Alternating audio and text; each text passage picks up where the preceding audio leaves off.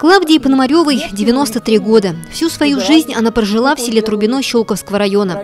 Семья, рассказывает Клавдия Васильевна, была большой. Помимо нее у родителей было еще 8 детей. Закончив школу семилетку, она рано пошла работать, трудилась телефонисткой на почте. К началу Великой Отечественной войны ее взяли ученицы счетовода на местную Трубинскую шелкоткацкую фабрику. И вот с фабрики меня взяли это, на трудовой фронт, окоп копать. Нас молодежь, было лет 18 или 19, вот в это, в это время.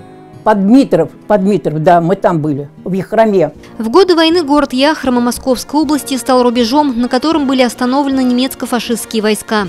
В конце ноября, начале декабря 1941 года здесь проходили ожесточенные бои за взятие Перемиловской высоты. Этот рубеж имел стратегическое значение.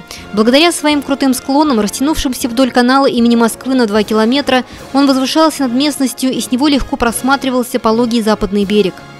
Клавдия Пономарева в числе сотен тысяч соотечественников самоотверженно трудилась на строительстве оборонительных сооружений, окопов, противотанковых рвов и заграждений.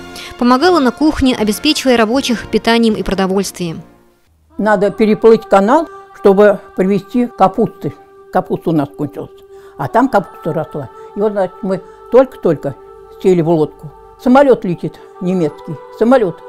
Ну, как раз в это, на берег легли лежать, лежать. А он пролетел, немецкий, ничего. Ему где-то было нужно разгрузиться. Он где-то разгрузился и полетел. На трудовом фронте в Яхроме Клавдия Пономарева работала несколько месяцев. Затем вернулась на Трубинскую шелкоткацкую фабрику.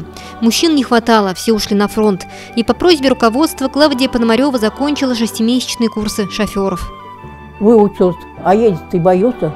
Ни практики, ничего, я боюсь ездить-то. А полуторку дали, ГАЗ-2. Полуторка разбита и вся. В годы войны Трубинская шелкоткацкая фабрика наладила выпуск парашютной ткани. Клавдия Пономарева отвозила материал на комбинат «Красная роза» в Москве, который затем отправлялся на фронт. После войны до выхода на пенсию Клавдия Васильевна работала на фабрике ткачихой.